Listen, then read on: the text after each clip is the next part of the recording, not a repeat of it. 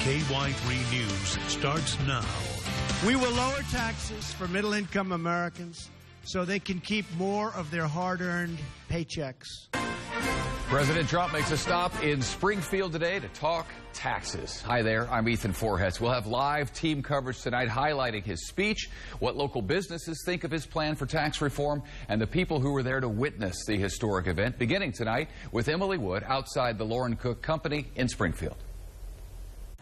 Yeah, Ethan, President Trump fired up the crowd here in a big way, hitting many of the talking points that he's had since his campaign, including tax reform and including his desire to keep jobs here in America. An exciting day for the community and for everyone involved, but especially for the Cook family, never dreaming the business they built would be on display for the entire world to see. We're also glad to be back in the heartland with the very, very fine folks of Missouri. It was just days ago the whirlwind began for the city of Springfield, a presidential visit during which Donald Trump would lay out his plan for a new tax code and economic growth. At the center of it all, the Cook family. It's very humbling. I mean, that's what it is. It's Loren Cook II, his wife Elaine, and the other Cook siblings couldn't have dreamed the president himself would come visit the business their family built right here in Springfield. A company they say is committed to our community and to keeping jobs in America. Uh, President Trump uh, thinks just like my father has always thought, keep jobs in America. We have two major competitors that we deal with on a daily basis, and they have plants in China, India, and Mexico, and we've always been pretty stubborn, and we want to keep those jobs here in America. But I have seen the resilience of the American spirit. The message of making America great again resonating with the people of the Ozarks gathered at the Loren Cook facilities today. He's everything I was hoping he would be, and he's more. I, I just love him. The president vowing to make it easier for businesses to keep jobs here and support their commitment to our local communities. We must reduce the tax rate on American businesses so they keep jobs in America, create jobs in America, and compete for workers right here in America, the America we love. And back here live inside the Loren Cook facility, you can get a look at uh, how the work is continuing tonight. The teardown is happening now. Uh, so much work just to make this event happen, and it happened so fast. It came together in just a matter of days. A bit of info I picked up from the Cook family. They tell me they provide free health insurance for all their employees and their families. So another policy information that they're looking for on the national stage is going to be the health care reform debate. They're watching that very closely from here in Springfield as well. Reporting live in Springfield, Emily Wood, KY3 News. All right, thanks, Emily. Sarah Forhetz was also there for the president's speech today and has more tonight on how local small business owners are reacting to the president's call to reform the tax system. Yeah, Ethan, several small business owners in the crowd. Of course, Loren Cook, as Emily mentioned, the biggest one, really 600 employees. We talked to a guy who has 12 employees, and he really echoed that, saying, yes, we've got to reduce that crushing tax burden in order to produce only in America and not here and elsewhere. And in the president's words, to make America great again. The tax code is so complicated that more than 90% of Americans need professional help to do their own taxes. This enormous complexity is very unfair. It disadvantages ordinary Americans who don't have an army of accountants. Complicated and crushing. President Trump kicking off the start of rewriting the tax code. Springfield business owners say relieving the tax burden will mean help for the bottom line. For Sean Duggins, it's about selling homes. He's president of Carol Jones Realtors. As far as changing the tax code and not having to have the the uh, army of accountants to uh, to do the taxes, make it simpler, just easier to get through the red tape, and keeping more dollars with the small businesses so they can spend more and invest more in America. BWI Sanitation echoed that sentiment. The comments that the president made uh, is music to our ears. As a business owner, not not necessarily dr- directly to us, but as other companies are able to get some relief from from taxation, they will grow, and then in return, that'll help us grow as well. Owner Darren Campbell has 12 employees. He says with higher taxes, businesses first cut event hosting like this, company parties, etc., which flushes his profits down the drain. When that tax burden is relieved, that money is going to be spent. We cannot restore our wealth if we continue to put our businesses at such a tremendous disadvantage. We must reduce the tax rate on American businesses so they keep jobs in America, create jobs in America, and compete for workers right here in America, the America we love.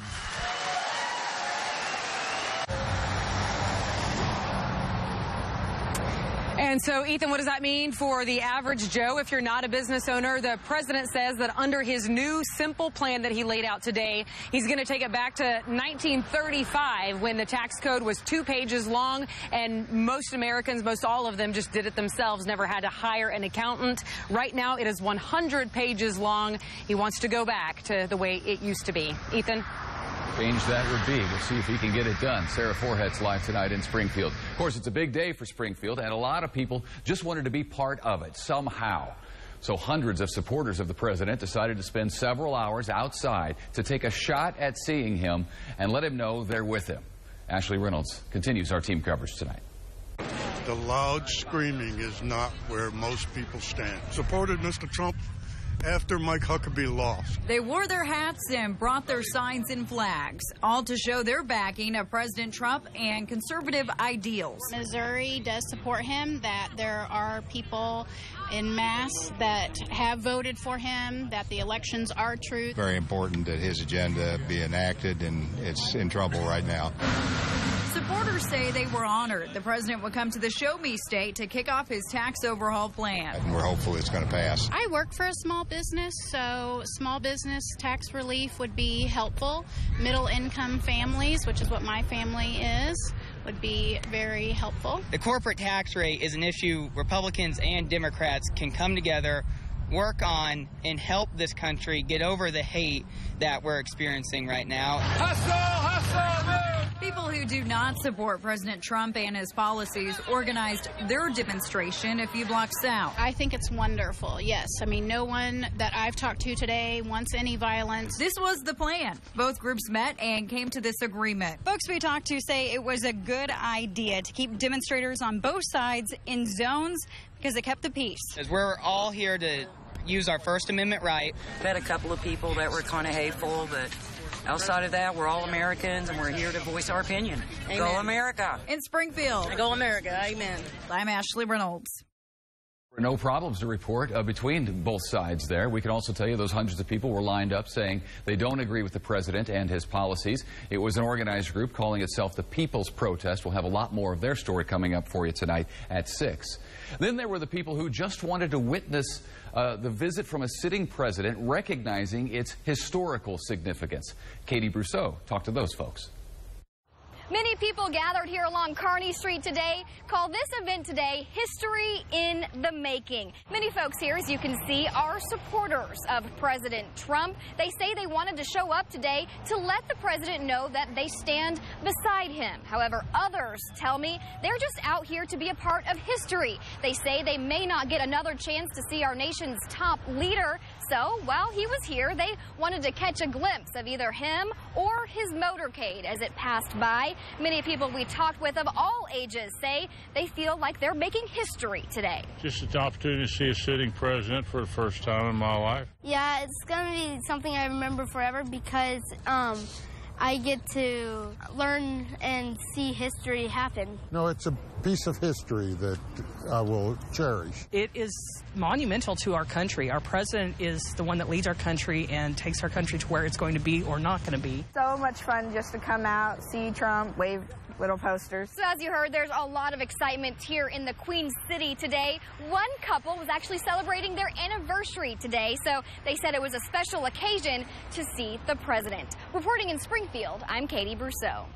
Of course, many elected officials from all across the Ozarks, really all across the state of Missouri, came to see President Trump today in Springfield. Linda Russell has some reaction from some of them, including Representative Jason Smith, who's worked on tax, tax issues in Washington as a member of the Ways and Means Committee. Missouri representatives from both the state and federal level were in attendance at President Trump's speech today here at Loren Cook, and those we spoke with afterwards were very pleased with his ideas for tax reform. I think that what the president outlined today was a comprehensive tax reform plan that can mean more jobs and higher pay. Anytime historically we've done that, whether it was JFK or Ronald Reagan, we've seen an economy that's expanded uh, more jobs, higher wages. So uh, I'm happy that finally in D.C. they're talking about it because in Missouri over the last couple years we have taken steps to lower taxes. The tax code is 55 times the size of the King James Version of the Bible. It's over 70,000 pages. It's changed over 6,000 times since 2001. That's more than one change a day. It's filled with all kinds of special interests, loopholes that help benefit the wealthy. We need to simplify it that normal Americans can fill out their taxes on one simple, piece, one simple piece of paper. Of course, Congressman Smith will be pushing for Trump's ideas in Congress. He just hopes his colleagues on both sides of the aisle will all work together for positive tax reform. Reporting in Springfield, I'm Linda Russell. And along those lines, for her part, we can tell you Democratic Missouri Senator Claire McCaskill says she's optimistic that she and President Trump will find common ground when it comes to tax reform and says she looks forward to working with the president to make bipartisan tax reform a reality. Much more coverage of President Trump's visit coming up here at 6 o'clock and also, of course, at ky3.com. Now to the other news of the day across the Ozarks. Vandalism at the National Cemetery located at Glenstone and Seminole in Springfield. Someone threw paint on the only Confederate statue on the property. Crews spent the morning, as you see there, cleaning it up. The vandals were not caught.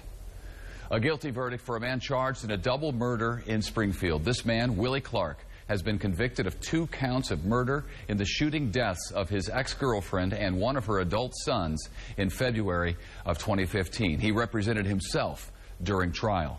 Another of the victim's adult sons was shot three times but survived and testified against Clark. Clark will be back in court to be sentenced in November. Meanwhile, the sentencing of a Missouri Highway Patrol trooper has been delayed. Brandon Ellingson drowned while handcuffed after Trooper Anthony Piercy pulled him over on the Lake of the Ozarks back in 2014. You may recall that. Ellingson was thrown from the trooper's boat, but the trooper had not properly secured a life jacket on Ellingson, who was handcuffed at the time. The judge rescheduled to allow Ellingson's father to speak at sentencing. Piercy avoided an involuntary manslaughter trial by pleading guilty in June to a misdemeanor boating violation. Sentencing for him is now set for September 19. And there's a continuance in the case of a Springfield man accused of murdering a young girl. Craig Wood is charged with the kidnapping, rape, and murder of 10-year-old Hailey Owens. Wood was scheduled to appear in court this morning, but will instead go before a judge on September 15th. Prosecutors are seeking the death penalty in this case. His attorneys and Hailey's mother, though, are asking for the death sentence to be taken off the table. Tropical storm Harvey bringing more water. Next at 5, the new round of rain pushing into Texas and Louisiana. Plus, the help MU is offering to students impacted by Harvey. Stick around. Harvey is still unleashing its fury on Texas and now Louisiana. The tropical storm making a third landfall and bringing with it a lot more water. Tens of thousands have already evacuated. Now thousands more are being forced to higher ground. The latest hit from Harvey, overwhelming. 26 inches of rain in just 24 hours. The city of Beaumont unrecognizable, dotted by only rooftops for miles. Everything else swallowed by the rising floodwaters. So the operation right now is very clear. We're still in life-saving, uh, life-sustaining mode. As the water rushed in, so did first responders. Navy teams pulling soaked and scared survivors to safety. As others scrambled to escape, we now know a young mother lost her life, swept away while trying to save her child. Apparently, the infant was clinging to her uh, in the water. They weren't able to resuscitate her. The baby, we're told, however, was alert and uh, conscious. While the rain has stopped in Houston, the search and rescue mission is not. 24,000 National Guard troops have been deployed, with the water still rising in neighborhoods across the city. All night, just kept coming in, kept coming in higher and higher. Officials say more than 25,000 have been moved to higher ground, a number that continues to grow here. It's just devastating, but you just grab what you you grab your kids, you grab your pets, and you just go. You leave everything. Some have lost everything. A dive team today located the Salvador family, a couple and their great grandchildren, killed when their van was pulled under the floodwater. The realization for so many here is so difficult, isolated by the water and unsure of what's next. Jay Gray, NBC News, Houston. The scenes just don't get any better, do they? Not yet, at least. The University of Missouri is offering to house students' family members who have been displaced by Hurricane Harvey. Residence halls have room because of a large drop in freshman enrollment there on campus, and seven of the halls are now closed to save money. Now those rooms are being offered to Harvey evacuees. And a reminder, we're teaming up with the Red Cross for Hurricane Harvey relief. We will be collecting donations tomorrow from 4 to 6.30. and The number to call, 417-268-3222. We can tell you all of the money we raise will go to flood relief and recovery down in Texas and Louisiana. And that's again tomorrow from 4 to 6.30. Back here in the Ozarks, ah, what do we have? Another perfect day. Beautiful outside. Abby's the next with how long we can look forward to this weather and what the Labor Day holiday weekend looks like. Next. And now, your KY3 Storm Team forecast. Welcome back, everybody. It is 520. Here's the picture up in Lebanon. We have some high cloud cover, also some cumulus clouds on the horizon. It wasn't enough, though, to get rid of our sunshine today, and high temperatures still managed to make it into the low 80s in most spots. As you head home this evening, temperatures are now falling to the 70s at 79 here in Springfield. We have a north wind at 12 miles an hour and dew point numbers that are down in the lower 60s. Temperatures elsewhere in the 70s and 80s for the most part. It's still 81 down in Mountain Home. Hold on to the 80s over in Lamar, too, at 80 degrees, and 82 the current temperature this evening evening in Rolla. So we look at the evening and the overnight hours. Once again, a perfect night to head outdoors. Temperatures will be falling into the 70s here shortly. It's going to be beautiful weather overnight tonight. Once again, I have numbers that fall back down into the low and mid 60s.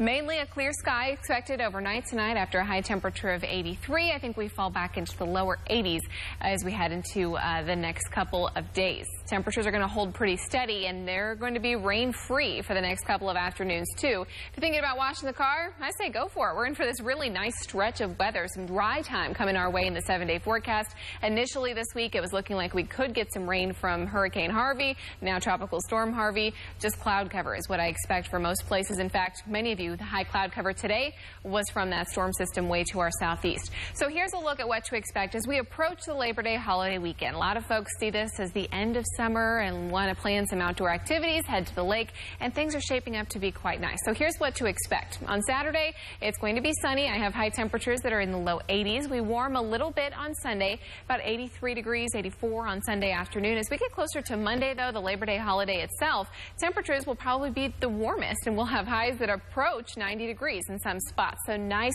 summer-like weather to enjoy the pools, enjoy uh, the lake time before it gets a little bit cool and we head closer to fall. Tonight, 60 in Springfield, 65 in Harrison, a little bit warmer down there with some additional cloud cover. Tomorrow, temperatures are in the 80s. Once again, more clouds the further south you travel. And here's the seven-day forecast. Now, numbers are going to be back into the lower 80s each day this weekend. Notice the warming trend here, though, Sunday and Monday. That's nice for Labor Day weekend, just in time. A lot of folks are going to be spending some time outdoors. Yeah, right. Cold front comes through at the end of the seven-day forecast, and beyond that, some of the models are hinting at a huge cool down. Oh, no. I mean, we're talking about a really a, a chilly shot of air. So the cold front comes through Monday, Tuesday time frame. We get some rain out of that. I have some models that are predicting we go into the 40s.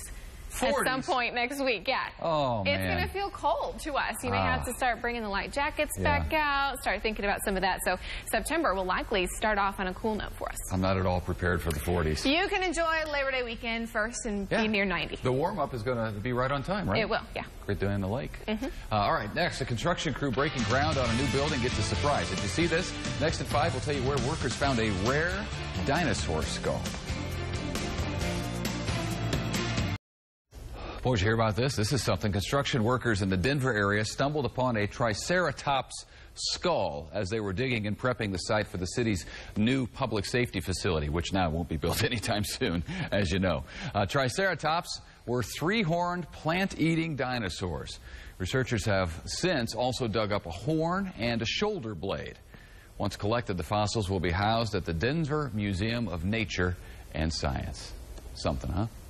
All right, stick around. We're back after this. All right. Well, what we got going on tonight? It's been a beautiful day, right?